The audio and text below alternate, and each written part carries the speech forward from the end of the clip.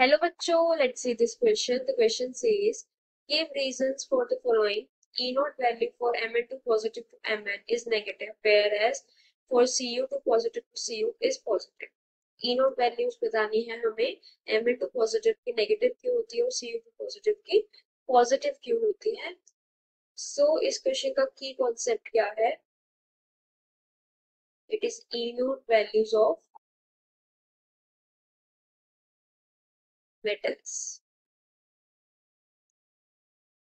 तो जो ई नोट है वो क्या होता है ये सम होता है sum of enthalpy of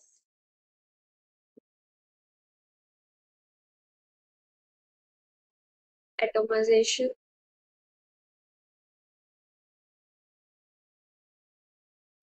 hydration and ionization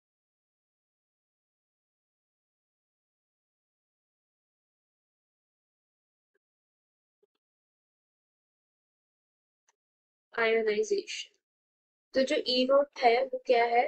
वो सब है enthalpy of atomisation hydration and ionisation तो जब हम सी यू कॉपर के केस में देखते हैं तो जो एंथैल्पी ऑफ़ एटोमाइजेशन और एंथैल्पी ऑफ़ हाइड्रेशन है, वो बैलेंस होती क्यों? क्योंकि इसकी जो एंथैल्पी ऑफ़ एटोमाइजेशन होती है, वो हाई होती है।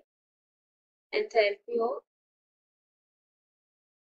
atomization is high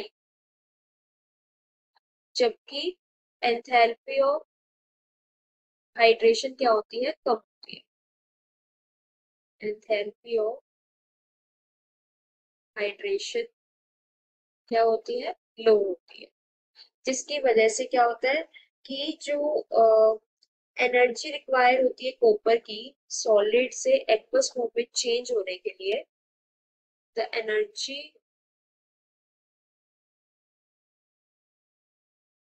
required change or transfer from copper solid to aqueous. Solid to aqueous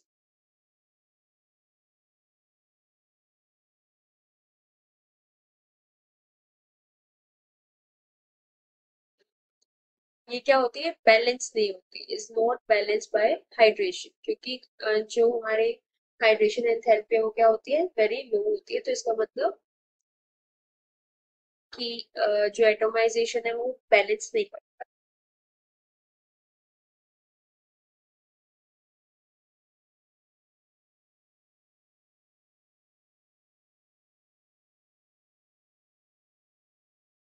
तो हाइड्रेशन से जो एंथैल्पी रिलीज़ होती है, उससे जो एटमाइजेशन की एंथैल्पी वो बैलेंस नहीं होती, जिसके कारण जो सी यू होता है that is why C U का जो ई नोट होता है, वो क्या होता है? पॉजिटिव होता है। नाउ जो ई नोट वैल्यू होती है किसकी? M N two positive to M N की वो क्या होती है? इट इज़ नेगेटिव बिकॉज़ क्योंकि जो एम एन टू पॉजिटिव होता है, ये वेरी हाईली स्टेबल होता है।